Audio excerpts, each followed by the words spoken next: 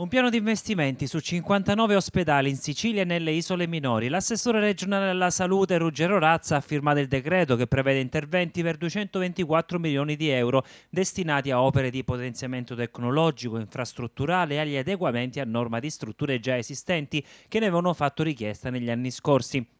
Un piano inserito in un accordo di programma sottoscritto con il Ministero della Sanità.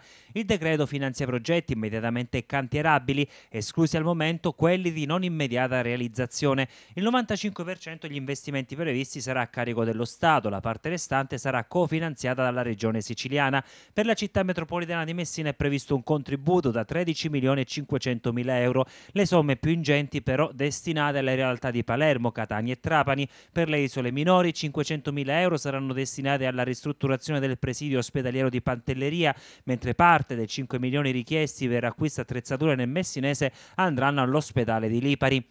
Un intervento complessivo che secondo il presidente della regione Nello Musumeci rientra nel miliardo di euro che il governo intende attivare per dare una boccata d'ossigeno alle piccole e medie imprese. L'altro obiettivo è quello di ammodernare strutture sanitarie rimaste fuori legge per tanto tempo. Si interverrà su strutture che allo stato attuale presentano forti criticità. Tra i progetti 15 riguardano opere di ristrutturazione e messa in sicurezza, 19 l'adeguamento e la messa a norma di strutture, 9 l'acquisto di arredi e attrezzature.